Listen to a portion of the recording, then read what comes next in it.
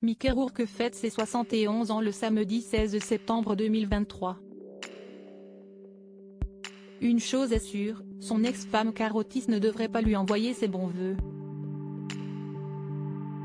Séparés depuis l'année 1998, Mickey et Carotis étaient parvenus à rester en très bons termes. Jusqu'à ce que cette dernière ne décide d'en dévoiler davantage à propos des coulisses de leur relation.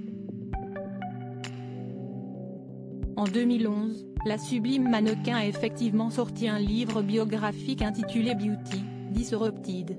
Un mémoire, et une chose est sûre, son contenu n'était pas très valorisant pour son ex. Mariée à Matthew Sutton depuis 2005, maman de deux enfants issus de cette union, car Otis admet que sa relation avec Mickey Rourke cachait une forme de violence assez redoutable. Elle racontait par exemple, dans son ouvrage, que le comédien cachait des armes à feu dans son sac et qu'un coup était un jour parti par accident. Les Tourtereaux s'étaient rencontrés sur le tournage du film L'Orchidée sauvage et ils avaient fini par se dire oui, en juin 1992. Sous la contrainte et la menace, au lieu de poser le genou au sol comme le veut la tradition, Mickey Rourke aurait effectivement sorti une épée face à Carotis et aurait assuré qu'il allait se donner la mort par Arakiri si elle refusait sa demande en mariage.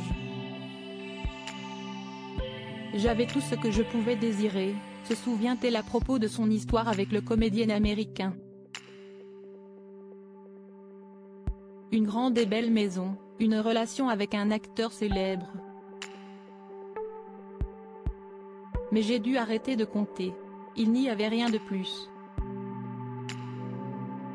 Parmi ces troublants souvenirs, Carotis évoquait, à de multiples reprises, la jalousie excessive de Mickey Rourke, qui voyait d'un mauvais œil sa carrière de modèle. Mickey, par exemple, avait vu une photo de moi nu, prise par le célèbre photographe Steven Meisel, pour Vanity Fair, se remémorait-elle. Il était furieux. Tout le monde peut voir ton cul. Si estime mon cul. Et celui de personne d'autre. Mickey aurait finalement envoyé de voyous pour traquer l'artiste, qui aurait été agressé dans un ascenseur de New York pour se faire voler des polaroïdes. Un véritable film d'horreur.